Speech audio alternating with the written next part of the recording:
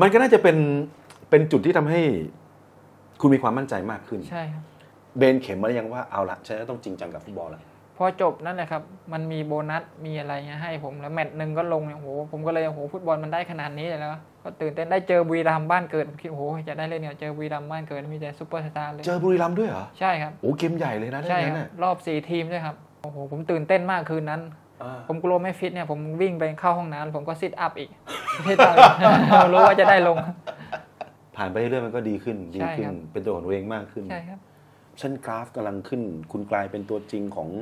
ทีมระดับ top ในไทยลีกอะครับทรูแบงคอกครับติดทีมชาติชุด U สิบเก้ากำลังแบบตั้งลำได้เลยอะอะสวยๆเลยครับโชคร้าย ใช่ครับ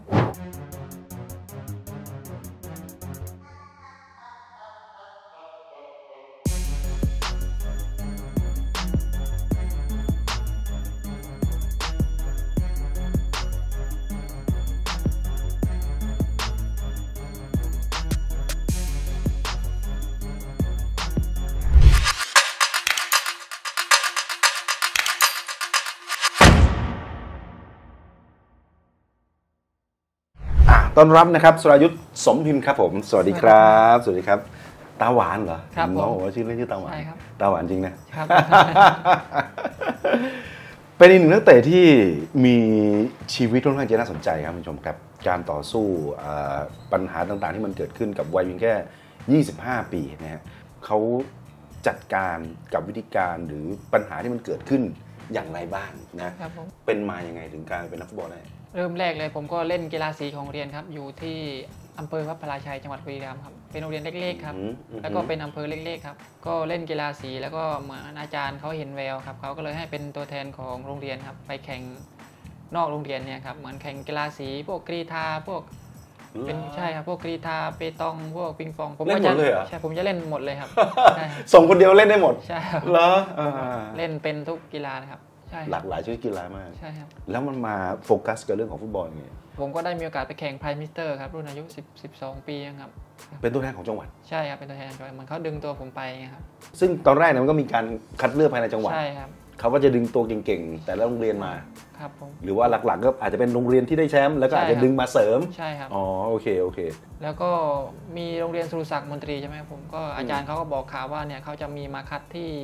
อำเภอประโคนชัยครับอื มมีทั้งฟุตซอลทั้งฟุตบอลครับ อืมผมก็เลยอยากไปคัดนะครับ ครับ แล้วก็ ถามแม่ว่าผมเนี่ยผมจะไปคัดฟุตบอลนะเนี่ยถ้าผมติดผมจะไปเรียนกรุงเทพนะจะไม่ได้กลับบ้านเลยจะนานๆจะกลับบ้านทีอะไรเงี้ยอ่าอ่าคุณแม่แม่ว่าบไงอกถ้ามันเรียนฟรีอะไรเงี้ยก็ก็ก็ไปเฮ้อะแม่ไม่มีเงินส่งให้ให้ลูกแม่ก็แบบมีเงินส่งให้แค่เรียนจบแค่มสามแล้วก็ไปหาทำงานอะไรดีกว่าอะไรเงี้ยโอเค เพราะฉะนั้นคือ โอกาสแรก ที่ใช่ครับที่เราได้ได้เข้ามาคัดเลือกกับที่โรงเรียนสุรศักดิ์มนตรีใช่ครับพอคัดเสร็จแล้วยังไงฮะติดติดครับติดต่แล้วคุณก็ต้องผคัดย้ายมา ผมคัดฟุตบอลครับแต่ไม่ติดแล้วผมก็ไปคัดฟุตซอลอีกที อืมก็เลยติดฟุตซอลติดในโควต้าฟุตซอลครับแล้วก็กลับมาบอกแม่ว่าเนี่ยผมคัดติดนะ ผมต้องไปเรียนกรุงเทพแต่เขามีเรียนฟรีอะไรฟรีอะไรเงี้ยไม่ต้องเสียตังค์แม่คไม่รับต้องเห็นแม่เลี้ยงผมมาด้วยความยากลำบากผมอยากเรียนสูงสูงๆอะผมก็เลย บอกแม่ว่าให้ผมไปหาโอกาสที่กรุงเทพนะแม่ แม่ก็จำใจให้ผมไป หมายว่าตอนแรกคุณแม่ก็อาจจะแอบเป็นห่วง ใช่ครับไม่อยากให้ไปอืมเพราะว่า มันมันเป็นห่วงไกลผมไกลหัวใช่ไอ้ตาเนาะไกลใช่บ้านเราด้วยใช่ครับไม่รู้เหมือนกันใช่แสงสีในกรุงเทพมันจะเป็นยังไง กับวัยขนาดนั้นน่ะนั่นนั่นคือครั้งแรกกับการที่เราย้ายมาอยู่ในในเมืองหลวงในกรุงเทพเลย คุณปรับตัวยังไงบ้างอะมันโอ้โหสิ่งใช่ผมยั่วยวนเยอะมากนะเออผมไปถึงได้ไปอยู่กรุงเทพ ผมร้องไห้ประมาณสองอาทิตย์ได้อะร้องทุกวันเลยอืมนอนร้องไห้คุมโปงนอนร้องไห้หนักหนาขนาดขนาดถึงขั้นว่าต้องนอนร้องไห้ ใช่ครับนอนร้องไห้ มันมันร้องไห้เพราะว่าอะไรเหนื่อยเหนื่อยแล้วก็คิดถึงบ้านใช่ครับ อืมท้อใช่ครับ มาแรกร้องไห้อืมผ่านไปเท่าไหร่ครับ ถึงจะรู้สึกว่า เออ ได้ละปรับตัวได้ละประมาณสามเดือนได้ไหมครับสามสามสี่เดือนใช่ครับสองวีคแรกนี่ร้องไห้ทุกวันใช่ครับ ผลงานของคุณเป็นยังไงบ้างกับสุรศักดิ์มนตรี เล่นฟุตซอลก่อน ใช่ครับก็ได้แชมป์นะครับฟุตซอลอ่าฮะได้แชมป์กรมพละอืมนะครับแล้วก็ย้ายไปเล่นฟุตบอลก็มีได้หลายใบครับนั่นหมายได้ความว่าเกียรติบัตรเยอะมากครับเด็กกลุ่มนั้นคือเล่นทั้งฟุตซอลและฟุตบอลใช่ครับ สลับกันไป แต่ผมอะเลือกเล่นฟุตบอลปีเดียวแล้วก็ย้ายไปเล่นฟุตบอลเลยครับ เริ่มจากจากกองหลังก่อนใช่ครัเป็บนแบ็กก่อนถูกไหมใช่ครับแบ็คขวาอืมแบ็กขวา แล้วก็เล่นตำแหน่งนั้นมาเรื่อยใช่ครับๆจนจบมม .6 ครับ .6 อ่า มันยังไงต่อครับ ผมก็เลยตัดสินใจโทรไปขอแบงคอกมันเป็นมี academy ครับ ปีนั้นอะแบงคอกอะเป็นเป็นเหมือนมาเทคโอเวอร์สุรศักดิ์มนตรีครับ เป็น academy โอเคครับแค่ปีเดียวครับ ผมก็เลยไปขอเขาซ้อมอือฮึก็ไปขอเขาซ้อมเหมือนคัดตัวครับใช่จนคัดผมคัดอยู่ประมาณ 6 เดือนมั้งทดสอบฝีเท้าอยู่ 6 เดือนเลยใช่ครับอืมแล้วก็ได้สัญญาฉบับใช่แรกฉบับในชีวิตครับ ปีครึ่ง1ปีครึ่ง ใช่ครับตอนนั้นร้องไห้นะฉบับแรกโทรไปบอกแม่บอกอาจารย์ที่แบบว่าเนี่ยผมได้สัญญาจากฟุตบอลอาชีพอะไรเงี้ย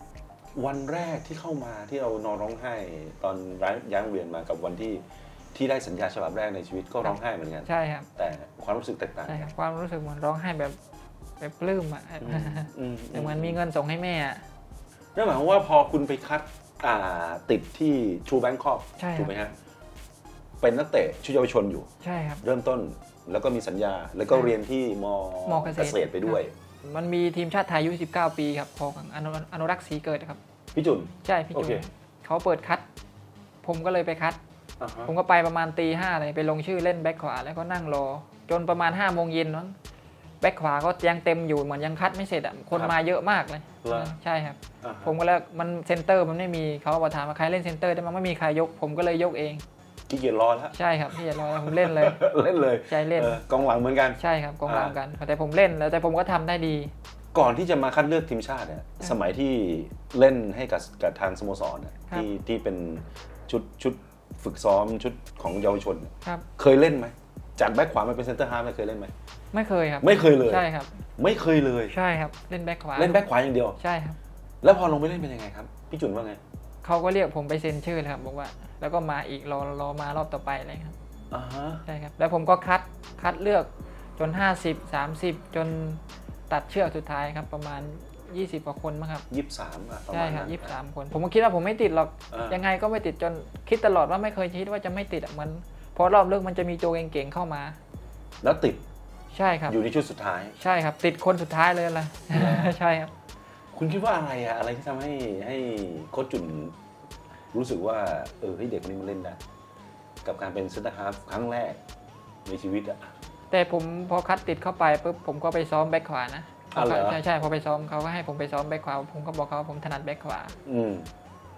จนเล่นก็ไปอุ่นเครื่องที่ไหนอุ่นกับทีมใหญ่พวกสโมสรไหนไม่ค่อยได้ลงนะผมอะเป็นตัวสำรองอยู่ตอนนั้นคัดก็อืมผมว่าไม่คิดยังไงก็ไม่ติดอะอืมเขาจะให้ตัว 11 ตัวแรกเล่นก่อนอะไรอย่างเงี้ย แต่เราก็เป็นตัวเสริมใช่ตัวเป็นตัวเสริมสำรองใช่ของครับทีมชุดนั้น ใช่ครับได้ลงก็ประมาณ 5 นาที อืม 10 นาทีอะไรอย่างเงี้ยได้ประสบการณ์อะไรบ้างกับทีมชาติชุดยูสิบเก้าชุดนั้น โอ้ได้ได้เยอะมากเลยแล้วก็ที่สำคัญคือได้เงิน ใช่แล้วก็มีคนติดตามอยู่ดีๆก็แบบโหได้แฟนคลับเยอะมากครับอ่า แบบไม่ไม่คิดไม่ฝันนะครับว่าจะจะเยอะขนาดนี้ครับไปไปแข่งขันในรายการอะไรครับ ที่ลาวครับ เป็นรายการอะไร AFF U19 ครับ แล้วก็แมตช์แรกมั้งผมไม่ได้ลง แล้วก็แมตช์ที่สองแบบมันจะแมตช์แรกชนะชนะลาว2-0มั้งครับ แล้วว่า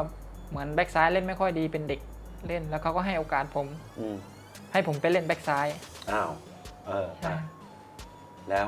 แล้วผมก็ยึดตำแหน่งตัวจริงนั้นมาตลอดเลยแต่เนี้ยผมเป็นยาวแบ็กเลยเหรอ ใช่ครับเป็นแบ็กซ้ายที่ไม่ค่อยลุกแต่จะชอบเน้นรับมากกว่า แต่อ่าพี่จุนก็เหมือนเขาชอบสไตล์รับเน้นแล้วผลงานของทีมชาติไทยชุดนั้นเป็นยังไงครับ ๆได้แชมป์ครับ ตอนนั้นชนะเวียดนามตอนแมตช์แมตช์ชิงเลย6-0ครับ6-0เริ่มจากแบ็คขวาครับ ใช่ครับ ไปคัดด้วยการเป็น center half อ่าพอติดทีมก็กลับไปซ้อมแบ็คขวาครับแต่โอกาสได้ลงเล่นจริงคือแบ็คซ้าย ใช่ครับ แล้วก็ยึดยาวในตำแหน่งแบ็คใช่ซ้ายครัมาเลย ใช่ครับเออเออแปลกดี แปลกดี มันก็น่าจะเป็นเป็นจุดที่ทำให้คุณมีความมั่นใจมากขึ้น ใช่ครับ เบนเข็มมาหรือยังว่าเอาละฉันจะต้องจริงจังกับฟุตบอลแล้ว พอจบนั่นแหละครับ มันมีโบนัส มีอะไรเงี้ยให้ผม แล้วแมตช์หนึ่งก็ลง โอ้โห ผมก็เลย โอ้โห ฟุตบอลมันได้ขนาดนี้เลยแล้ว เวลาเทสรันนิ่งอะไรเนี่ยเขาก็จะให้ใครได้ที่หนึ่งเขาก็จะเหมือนให้แบบได้เยอะมากเลยครับ มีของสนับสนุนจากสปอนเซอร์ เพิ่มใช่ครับเติมใช่มาครับอีก ซึ่งเป็นสิ่งที่เราไม่เคยคิดเลยว่าฟุตบอลมันจะมีแบบนี้ด้วย ใช่ครับ แบบการกินเราก็ดีมากเลยครับอืมมีคนคอยดูแล ใช่ครับ คนดูแลเสื้อผ้าไม่ต้องซัก เสื้อผ้าไม่ต้องซักด้วย ใช่ครับ ตื่นมาแค่เตรียมร่างกายให้พร้อมไปลงไปซ้อมใช่ลงไปแข่งครับให้มันชนะครับ ไม่เอาแล้วในโรงเรียนร้อยตอนนั้น ใช่ครับ ไม่เอาแล้ว แต่ผมก็สอบมาตอนนั้นผมก็จะจดบันทึกตลอดนะผมสอบพวกนายร้อยพวกนายเดิมผมก็จดไว้ในไดอารี่ ผมชอบจดไดอารี่ตอนนั้น เป็นความทรงจำของเราว่าชีวิตใช่ครันะบตอนนั้นเราเราผ่านผ่านอะไรมาบ้าง ใช่ครับ แล้ววันที่คุณได้แชมป์ชื่อ19 ปีกับทีมชาติไทยคุณจดว่าไง ก็ได้แชมป์แล้วก็ได้ส่งเงินให้แม่เยอะอยู่นะครับ ใช่ครับ ผมได้ประมาณห้าหมื่นมั้งวันนั้นได้แชมป์อะเขาให้คนละห้าหมื่นเลย รวมทั้งทัวร์นาเมนต์ครั้งนั้นที่คุณใช่ได้คแชรับมป์อยู่19ใช่ครับ 50,000บาทกับเด็กอายุ19ปีใช่ครับอ่าเยอะเลยก้อนใหญ่มากใช่ครับ ซึ่งอย่างน้อยมันก็มองเห็นอนาคตว่าใช่ครับอ๋อเราฝากชีวิตกับอาชีพของการเป็นนักฟุตบอลได้ใช่ครับถ้าคุณดีพอใช่ครับมันก็มีเงินเลี้ยงชีพแบบนี้ครับแล้วดีด้วยใช่ครับรายได้ดีด้วยใช่ครับอืมตั้งแต่นั้นมาผมก็มุ่งเป้ามาฟุตบอลนะครับ เริ่มแบบมาจริงจังกับฟุตบอลจริงจังแล้วจริงจังเลยครับอืมทำร่างกายวิ่งอ่า แล้วผลลัพธ์มันออกมาเป็นยังไงครับ กับการเติบโตขึ้นมาจากในแคมป์ของ True Bangkok ก็มันเลี้ยงครอบครัวได้เลยครับอืมตอนเนี้ยผมสร้างขึ้นมาระดับจากนี่ขึ้นมานี่เลยครับอืมสร้างจากฟุตบอลครับ คุณได้ขึ้นสู่ทีมชุดใหญ่ของ True Bangkok ใช่ครับกลับอืมพอกลับมาก็ได้ไปซ้อมขึ้นชุดใหญ่กับแบงคอกเลยครับ แล้วก็ได้เล่นเอ่อชิงแชมป์เอเชียที่สนามเมืองทองครับ ที่แพ้เกาหลีอือฮึเกาหลีใต้เมืองสองหนึ่งครับ มีจังหวะจำได้ไหมครับว่าเกมแรกที่เราได้ลงกับ True เก Bangkok มแรกเลยที่ผมเล่นนะ เป็นเกมบอลถ้วยครับคโตรับโยต้าครับ แล้วก็ได้พี่ใหม่พานุพงศ์เป็นคนให้โอกาสผมอือฮึคือกองหลังตอนนั้นมันเจ็บหมดเลยครับ แล้วเขาแล้วพี่ใหม่พานุพงศ์ก็เดินไปบอกโค้ชว่าเหมือนผมก็ตั้งใจซ้อมมาตลอดอะไรเงี้ยทุ่มเทมาตลอดแล้วเขาพี่ใหม่บอกว่า ผมมาอยากเล่นกับเด็กคนนี้อะไรเงี้ยพานุพงษ์วงศาใช่ครับอดีตทีมชาติไทยของเราใช่ครับ ตอนนั้นใหม่ใหม่ยังเล่นอยู่ ยังเล่นอยู่ครัเอาบยังเล่นอยู่ใช่โอครับเคโอเค เขาก็เดินไปบอกโค้ชเองเลยว่าเฮ้ยเด็กเด็กคนนี้ใช้ได้ ใช่ครับ พวกเอ่อมาริโอพวกเอ่อโจโจ้เขาไม่เชื่อมั่นในตัวผมเขาบอกว่าผมเล่นไม่ได้ ผมว่ายังเล็กยังเด็กอยู่ยังอะไรเด็กอเงี้ยู่ยใช่กองครับหลังด้วยใช่ครับกองหลังด้วยพลาดแล้วมันแบบเสียเลยนะใช่ครับอ่าอ่าโอเคเขาก็ให้ผมลงเล่นมีเรียกผมมาแล้วก็ให้ลงเล่นเลย ตอนนั้นแต่ผมก็ยังซ้อมยังแข่งอยู่กับทีซีอะไรเงี้ยครับทีซีทีสี่ก็คือทีมสำรองทีมชุดสำรองใช่ครับซึ่งเล่นอยู่ในทีสี่ใช่ครับ พอติดทีมชาติก็มาซ้อมชุดใหญ่พอมีแข่งก็จะไปแข่งทีซีโอเค เข้าใจเข้าใจอ่าเขาก็เรียกผมมาแล้วก็โอ้โหผมตื่นเต้นมากคืนนั้นอ่าผมกลัวไม่ฟิตเนี่ยผมวิ่งไปเข้าห้องน้ำผมก็ sit up อีกซิทอัพอีกรู้ว่าจะได้ลง เอาจนแบบวินาทีสุดท้ายใช่ครับเอาให้มันพร้อมที่สุดใช่ครับ ก็ตื่นเต้นได้เจอบุรีรัมย์บ้านเกิดผมคิดโอ้โหจะได้เล่นเนี่ยเจอบุรีรัมย์บ้านเกิดมีแต่ซูเปอร์สตาร์เลยเจอบุรีรัมย์ด้วยเหรอใช่ครับโอ้เกมใหญ่เลยนะใช่เรื่องคนั้รันบน่ะรอบสี่ทีมด้วยครับ รอบรองชนะเลิศใช่ครับโอเค ใช่ครับคุณยืนเซนนะครับคู่กับพานุพงษ์วงศาใช่ครับพานุพงศ์วังซาโอ้โหเอาแค่ได้เล่นเนี่ย ก็ก็ใจเต้นแล้วนะ ใช่ครับ เล่นคู่กับระดับทีมชาติไทยนะ ใช่ครับ ซึ่งประสบการณ์สูงมากครับใหม่เก่งมาก ใช่ครับแล้วเจอกับทีมบ้านเกิดของตัวเอง ใช่ครับ โอ้โหมันอีลุงตุงนังหมดเลยเป็นใช่เป็นเหมมือนวลความรู้สึกที่มันแบบ ใช่เหมือนฝันที่ผมเคยคิดว่าโอ้โหแบบเคยฝันไว้นะโหแต่ผมเคยไปดูบอลที่บุรีรัมย์มานะครับ ที่มันโอ้อยากเล่นให้บุรีรัมย์จังเลยเนี่ยเอออะไรเออเงี้ยเออ แต่พี่เจ้ามันปรากฏว่านัดแรกในชีวิต ใช่ครับกับได้จอ การเป็นนักเตะใช่ครับอ่าดันเจอบ้านเกิด แล้วเป็นยังไงครับผลลัพธ์ผลลัพธ์เสมอ3าสามเล่นต้องต่อเวลา 120 นาทีครับ ครับ แล้วแล้วก็ยิงจุดโทษแพ้ แบงคอกยิงจุดโทษแพ้ครับ แพ้รอบรองชนะเลิศด้วยการแพ้จุดโทษ ใช่ครับ ตลอด 120นาทีนั่นคือคุณอยู่ในสนาม ใช่ครับ อยู่ในยาวเลย ใช่ครับแล้วแมตช์นั้นผมได้แมนเอาน้แมตช์ด้วยครับ เหรอ ใช่ครับ โอ้ก็จะถามว่าเฮ้ยแล้วคุณคุณเอ่อลองลองประเมินผลงานโอ้โหได้ระดับแมนออฟใช่ทำไมเลยพึงพอใจมากกับใช่ครับเพิ่งพอใจแต่ก็ยังมีผิดพลาดนะครับแบบอืมยังเด็กอยู่ครับ ยังยืนตำแหน่งแบบผิดๆอะไรเงี้ยครับเช่นกราฟกำลังขึ้น คุณกลายเป็นตัวจริงของทีมระดับท็อปในไทยลีกอะครับทรูแบงคอกครับ ติดทีมชาติชุดยูสิบเก้าอะกำลังแบบตั้งลำได้เลยอะอะสวยๆเลยครับโชคร้าย ใช่ครับ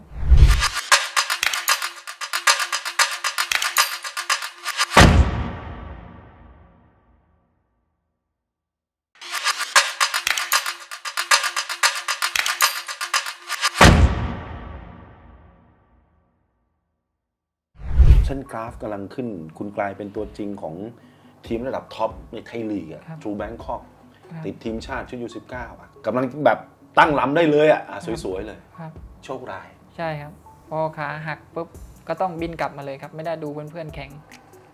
ตอนนั้นคือไปเก็บตัวอยู่ที่ไหนที่ที่ทีมชาติไทย ใช่ครับ ที่ทีมชาติไทยที่กัมพูชาที่เวียดนามครับ ที่เวียดนามครับ มันมันยังไงฮะมันมันซ้อมมันยังไงเกิดอะไรขึ้นช็อตนั้น ซ้อมมันจังหวะสไลด์จะไปเอาบอลก็เกี่ยวบอลมาเล่นนะครับ แต่อ่ามัมันสไลด์ไปแล้วเหมือนมันไม่ไปอะขาซ้ายมันไม่ไปครับ มันไปพอไปแล้วมันมันก็หยุด stop โดนหลุมอะครับ อือหือแต่น้ำหนักตัวเราไปแล้วใช่ครับไปแล้วมันก็เบียนกรึ๊บเลยใช่ครับ ได้ยินเสียงเลยใช่ได้ยินเสียงเลยแล้วแบบเจ็บมากนะครับข้อเท้าซ้ายใช่ครับก็ทางซ้ายแล้วก็ ผมคิดว่าผมอยากแข่งมากเลย แล้วก็ร้องไห้นะร้องไห้กับโค้ชจุนด้วยแล้วโค้ชจุน แต่ผมก็ต้องโค้ชบินกลับมารักโค้ชษาโค้ทีชโค้ชจุนว่าไงบ้างตอนก็กลับไปรักษาตัวให้หายดีค่อยกลับมาสู้ไหมอืมอืมคิดไหมครับว่ามันมันจะหนักหนาเอาเรื่องหรือก็ประเมินอาการบาดเจ็บตัวเองตอนแรกไม่คิดนึกว่าข้อเท้าพลิกฉีกเฉนึกยว่าๆเขานะทัชทีเขาไปเอ็กซเรย์ปุ๊บมันหักเพื่อนนิดนึงครับ บีออกมา ใช่ครับ แล้วก็แต่ไม่ต้องผ่าครับ บอกให้ไปดามเอาเลยเดี๋ยวพวกยังเด็กอยู่ครับบอกว่าเดี๋ยวมันจะสร้างเร็ว อ๋อ คุณพักไปเท่าไหร่อะ เกือบปีครับกว่าจะหายมันหายมาเสร็จมันก็ยังแบบมันยังไม่เข้าที่อะแต่เหมือนร่างกายมันก็เสียสมดุลนะครับอืมพอหายตรงนี้มันก็มาตึงตรงนี้ตึงนั้นไปหมดเลยครับ เราเราคิดไปไกลแบบเอ้ยหรือว่าจะเล่นไม่ได้แล้วอะไรเงี้ยมีไหมไม่ครับไม่ได้คิดอย่างนั้น แต่ไม่ได้ท้อไม่ได้คิดใช่ครับ แต่ท้อมีแน่ใช่ครับเพราะว่าอืผมเล่นหลายยิ่งเล่นมันก็ยิ่งฟอร์มแบบอะไรที่ทำได้เมื่อก่อนมันก็ทำไม่ได้ครับ เสียความมั่นใจไปเลยครับ โอเค ย้อนกลับไปอีกแมตช์แมตช์ใช่แรกใช่ครับ ที่รอบรองชนะเลิศในฟุตบอลใช่ครับถ้วยนะใช่ครับ Man of the Match ใช่ครับบุรีรัมย์อยากได้ด้วยใช่ครับเขามันเข็ถึงขั้นนั้นเลยนะ ใช่ครับเขาจะซื้อเลยครับเออแต่จริงๆผมหมดสัญญาด้วยครับหมดสัญญากับแบงคอกพอดีเลยช่วงนั้น จนสุดท้ายผมมาเซ็นกับแบงคอกแหละเหมือนเขาบอกเขาเป็นคนปั้นผมมาอะไรเงี้ยอยากให้อยู่ที่นี่ต่อใช่ครับอ่ากำลังไปได้สวยแล้ว พอเซ็นปุ๊บก็ขาหักกันเลยครับโอ้มันบุรีรัมย์ก็ทำให้ราคาตัวผมสูงสูงด้วยครับมันเขาอยากเข้าใจใช่ครับ ก็ในเมื่อมันมีคนมาอยากได้ ใช่ครับอืมเขาก็บอกว่าจะเอาเท่าไหร่อะไรเงี้ยแต่ผมไม่ได้บอกเขาเสนอมาให้เลย ผมก็ตกใจเลยอะไรเงี้ยเยอะมากแบบเยอะมากแล้วแล้วแล้วทูแบงคอกก็ต้องอัพใช่ขึ้นไปก็ต้องสู้ไปเพื่อผมจะไม่ให้ผมไป และผมเป็นเด็กคนเดียวที่แบบได้เงินเดือนเหมือนแบบเวอร์มาก พุ่งปี๊ดมาเลยใช่พวกปีได้ทั้งค่าเซ็นด้วยอืมค่าเซ็นที่เยอะมากนะครับอืมอืมอืมมันก็เป็นช่วงเวลาแหละครับอืมด้วย อาชีพการเป็นนักฟุตบอลเนี่ยเรารู้ว่ามันระยะเวลามันมีค่อนข้างจะจำกัดครับถ้าในช่วงที่เราพีคขึ้นสูงสุด มันก็เป็นช่วงที่คุณมีมูลค่ากับทีม มันเป็นเรื่องปกติครับอ่าแต่พอเสร็จสัญญาเสร็จนั่นแหละ แล้วมันก็ดำดิ่งลงมาใช่ครับ กลับมาก็ไม่เหมือนเดิม ใช่กลับมาไม่เหมือนนะจนสุดท้ายบุรีรัมย์บอกว่าอยากกลับบ้านไหมเขามาขอซื้อเลยครับเหรอใช่ครับ ตอนที่หายเจ็บกลับมา ใช่เขามาขอซื้อรอบสองครับ อ่า แล้วยังไงฟคอรัร์บมผมก็กำลังไม่ดีแล้วช่วงที่แบบ เหมือนแบบทำยังไงก็ไม่ดีอะอืมทำไมมันมันเกิดอะไรขึ้นหมายถึงมัว่านมันอะยัลงองมันยังเจ็บอยู่ครับมันแบบร่างกายด้วยใช่อันดับแรกร่างกายคือร่างกายเลยใช่ครับอ่ามันไม่เหมือนเดิม ใช่ไม่เหมือนเดิมเลยเวลามันมันยังไม่หายเหมือนพอมันเจ็บเวลาวิ่งไปมันก็ยังเจ็บอะไรเงี้ยเจ็บจี๊ดจี๊ดจี๊ดจี๊ดจี๊ดจี๊ดอย่างเงี้ยแล้วก็ตัดสินใจไปเลยครับ ไปบุรีรัมย์ใช่ครับเขาก็ซื้อผมไปเลยครับ ผมก็ได้ไปซ้อมชุดใหญ่แต่ผมก็มีชื่อแต่เกือบทุกแมตช์นะครับมีชื่อสำรองทุกแมตช์ใช่มีเกือบชื่อทุกแมตช์ใช่ครับอืมแล้วแต่ก็เขาก็โอกาสเล่นน้อย พอแข่งเสร็จคนที่ไม่ได้ลงก็เขาก็จะให้เป็นเล่น T4 ของบุรีรัมย์ครับเล่นอยู่ประมาณ 6 เดือนมั้งครับ ผมก็ยังลงไม่ได้เขาก็เลยส่งผมมาเล่นที่แอร์ฟอร์สครับตอนนั้นที่อยู่ไทยลีกครับ ยืมตัวมา ใช่ครับยืมตัวมา 6 เดือน ก็ดีขึ้นเลยครับย้ายมาก็เจอประสบการณ์ใหม่ ๆ เจอ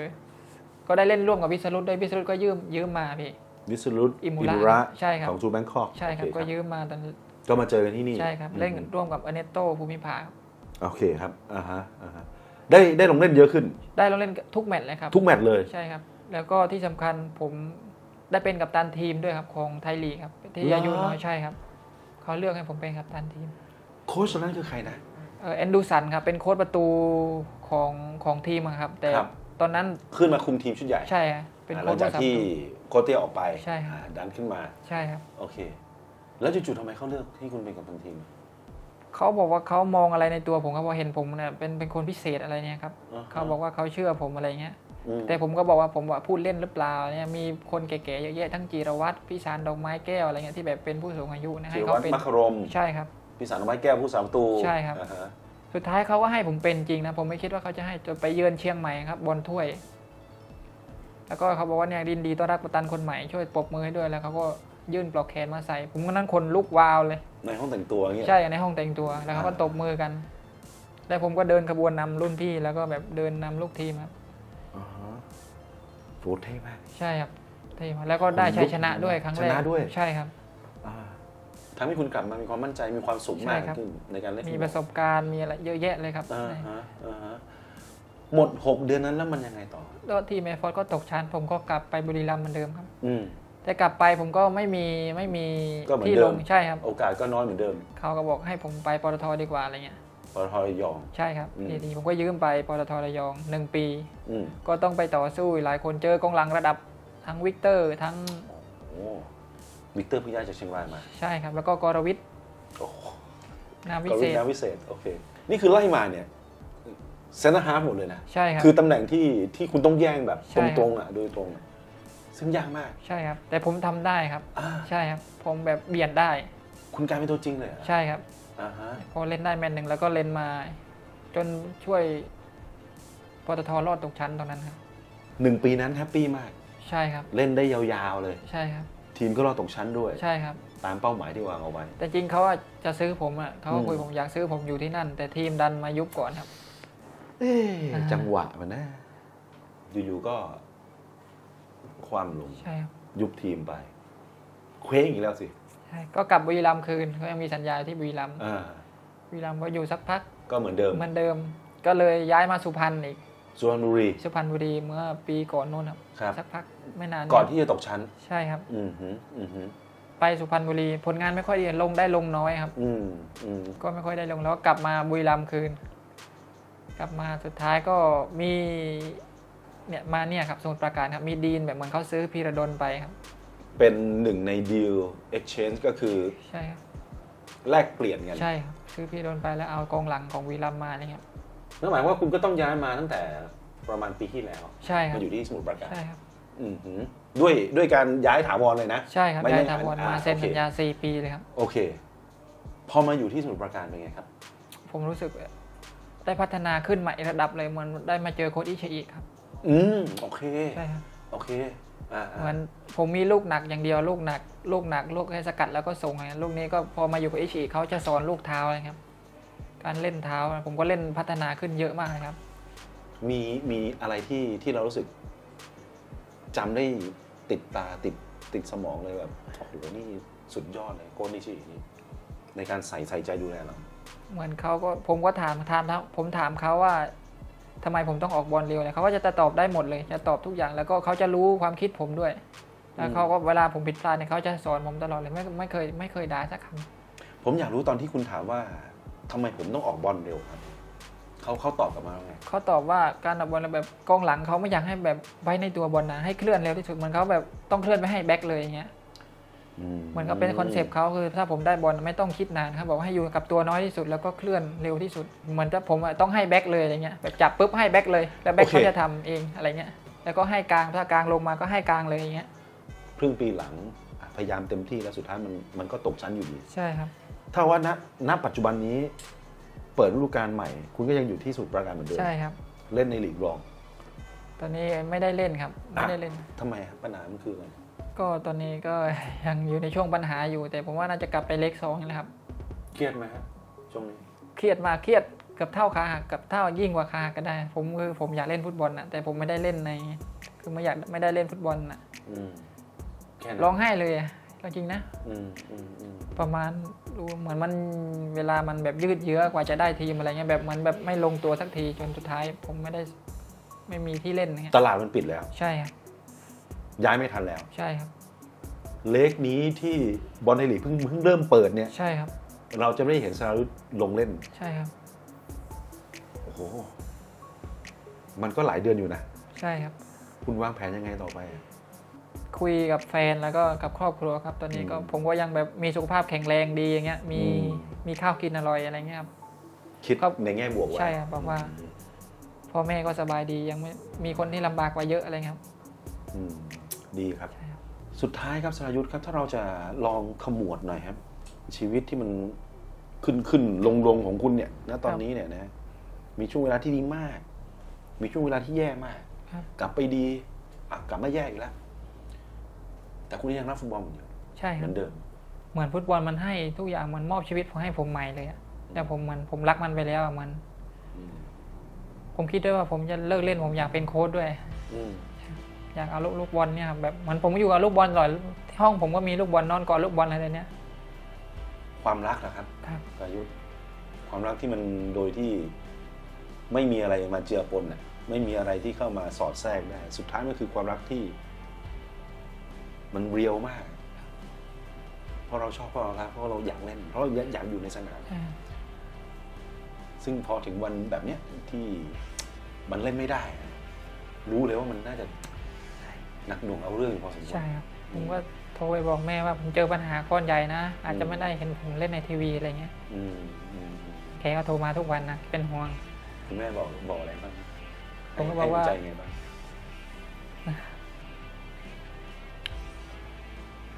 โอเค ใจเย็นไม่เป็นไรอย่างน้อยก็ก็แค่ได้ยินเสียงก็โอเคนะ อืม กับกับ เราเราแบบว่าเด็กต่างจังหวัดอะคือ แค่มาถึงทุกวันนี้มันก็ผมว่ามันเลยจุดที่เราคาดหวังไปสูงเยอะมากอะพอมันมีปัญหานะฮะเอ่อสุดท้ายครอบครัวก็คือก็คือคนที่คอย support เราอยู่ข้างหลังอยู่ดี นอกจากคนรอบข้างที่อยู่ใกล้ตัวของคุณแล้วนะครับ เอาว่าวันนี้คุณได้อีกหนึ่งกำลังใจจากจากพวกเรา จากพี่จากทุกคนในนี้เนี่ยเตรียมตัวให้พร้อมครับครับผม รักษาไอ้ความรู้สึกความรักกับฟุตบอลเอาไว้ก่อน เมื่อถึงเวลาแล้วกลับไปลงสนาม มันจะยิ่งใหญ่ครับ ครับผมวิ่งลงไปเลย เล่นอย่างที่คุณเคยเล่น มีความสุขอย่างที่คุณเคยมีมอบความรักให้กับฟุตบอลต่อไปด้วยครับ ขอให้ประสบความสำเร็จต่อไปครับ ครับผม ขอให้โชคดีหลังจากนี้ ครับผมขอบคุณมากครับสรายุทธครับ ครับ